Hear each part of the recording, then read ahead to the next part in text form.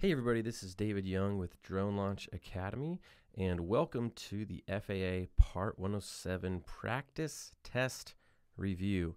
Um, in this video, I'm going to be going over uh, the practice test and walking you through how to answer the first question in detail so you know what you're doing and you understand the question. So, let's get started. Here we have our practice test, the Drone Launch Academy's 21 question practice test, where we walk through some of the most missed questions and some of the most difficult ones to help you understand what you're doing and what you're going to see on that FAA drone test. So let's dive in. Uh, read this before you get started. Basically, it's saying you'll need these supplemental materials. If you click here, it'll take you to the FAA website where you can download this. And this is what you will get um, on the day of your test. It will be a physical booklet, and you can flip through it. It'll have all the charts uh, and things that you need for the test. Now, some of them are poor quality, but that's just what we have to live with because that's what the FAA gives us. So download this. We include some images in our uh, next to the questions, but if you want to zoom in and kind of see exactly what you're going to see on test day, we recommend downloading that. Next, to record your answers, you have this answer sheet here, and you can either print this off and uh, fill it out manually, or you can click the check boxes uh, within the PDF as well to score yourself. And you can go through this as many times as you want. Um, and you can print the whole thing out if you want, just print the answer sheet out. It's up to you. Finally, to get the explanations and answers for all the questions, you can click here. That'll take you to our website where we will provide you every answer with really detailed explanations to make sure you understand it. I just wanted to do a video for this first one to get you kick-started and make sure that you get rolling and understand everything. So let's dive in. Question one it says refer to FAA CT 8082H. This whole rigmarole here just means this booklet because you can see it up here. That's what's showing you. It says figure 23, area 3. So let's go ahead and find that. So we're going to go to figure 23 and you'll look, if you scroll a little bit, um, you'll see at the bottom here, this is the appendix. Let's scroll down a little bit more. You'll see so legends. So the first ones are legends, then you get into figures. So it's going to be further down in the booklet. I'll just scroll. Okay, so we have figure 9. Keep going till we get to figure 23. And it should look like, like this, but I just want to see it in some more detail. Figure 21. And figure 23. Okay, here we go. It says, a client has hired you to inspect a tower on Tuesday. The tower to be inspected is a lighted tower, that's important, lighted tower six nautical miles southwest of Savannah Hilton Head International Airport, which is uh, SAV. At the highest allowable flight altitude above the tower, what airspace would you be in? And we have three options here Class G, Class E, or Class C. Now, if you don't know anything about airspace, you are going to be epically confused at this question and have no idea how to answer it. But we'll walk you through some of that and teach you how to get to the answer on this one. The first thing you would need to do is go check out the legend. So in this booklet, towards the beginning, there is a sectional chart legend, and it tells you what a lot of these symbols on here mean. Now, if you're trying to figure this out on the day of the test, you probably won't get it and probably won't have enough time to finish. It's really just there for a reference point to refresh your memory. It's not going to teach you how to read these charts, but it will help you remember what some of these symbols mean if you forget or get confused. So let's take a look at that. It's toward the beginning here. Scroll up back to the beginning. Now remember, in person, you'll have uh, this physical booklet, and you can print this off if you want, but since I'm showing you on the video, I'm going to need to keep it on the screen here. Okay, so here's the sectional chart legend, and we need to know, okay, well, how do we know a couple things? First, we need to know what the different types of airspace look like. How are those marked on these maps? Um, and it says the highest allowable flight altitude. Well, how do I know what the allowable flight altitude is? And then it says six miles southwest. How do I know how far six miles is? And it says the lighted tower. How do I find a lighted tower? So a lot of different things going on in here.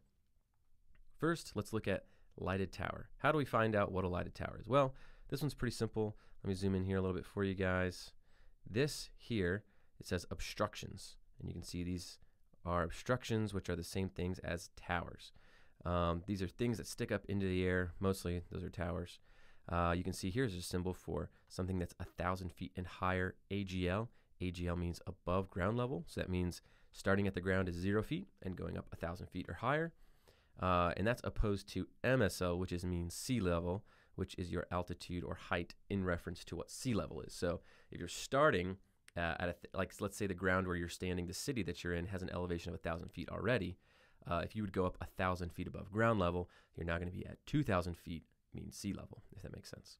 So this says a thousand feet and higher. This is what the symbol looks like. Uh, for below a thousand feet, it looks like this little TP hut here. Um, then there's groups of obstructions, and then you can see here obstruction with high intensity lights. So that gives the little thunderbolt symbol outside of the obstruction. So that means that those are lighted towers. Also, you're going to need to know this here. This shows you the the height of the obstruction or tower, oops, in mean sea level on the top, and then within brackets that gives you the above ground level altitude. So let's head back over to our question and take a look. We see here the lighted tower 6 nautical miles southwest of the airport. Now if we go back to our sectional chart image, uh, figure 23, 23, there's a legend up here. Okay, it tells you nautical miles, statute miles, and kilometers. And you'll have a pencil and other items on the day of the test, or just a scratch piece of paper. What I like to do is on a scratch piece of paper or in a pencil, put it down next to my booklet here and measure out what 10 nautical miles is. Then I either make a, nar- a note on my paper or a mark on my pencil on the, uh, the, the rod part of the pencil, and then I can use that almost as a ruler on my chart. So I would mark out what about six nautical miles is, maybe about here, and then I'd look down here, and I would compare that from the center of Savannah Airport out six miles to the southwest. Now you know this is Savannah Airport um, because uh, airports have these little runway markers. Um, there's there's an airport, there's an airport, there's an airport. They'll have um, the images of the runways on them too, so you can see which directions the runways are. So we're going to six miles southwest. If you just look at the towers down here, you can see that there's only one tower that is indicated as being a lighted tower with these thunderbolts here. Uh, so this is going to be our tower here, and we can measure it out from above. That's about six nautical miles. So I think this is the tower they're referring to. And if you look, you'll see all these different altitudes uh, marked on the towers. And this one is the closest to this tower, so we believe that this altitude information goes with this tower. Okay, so we can see that it's 1,548 feet mean sea level and 1,534 feet above ground level. So we know that's how tall the tower is. Um, for the next part of the question, when it says the highest allowable flight altitude, um, that is not going to be anywhere on the information you're going to get in your booklet. That's not on a legend. That's not anything. That's just part of the Part 107 operating rules that you would need to know. Um, you can find those in various places. Um, we talk about this in our detailed written explanation. We give you some references. But one of the operating rules is that you cannot fly higher than 400 feet above ground level or within a 400 foot radius or outside of a 400 foot radius of any structure. So you could fly 400 feet directly above this tower. So if this tower is 1,534 feet above ground level, we can fly our drone 1,934 feet above ground level. That's just 1534 plus 400. Okay, so if we're flying our drone that high, what airspace are we going to be in? Next thing we need to figure out is what do the different airspaces look like? First, we're going to see this airport, and we see these rings here. Okay, airspace is generally indicated by rings or different sections um, going around the airport.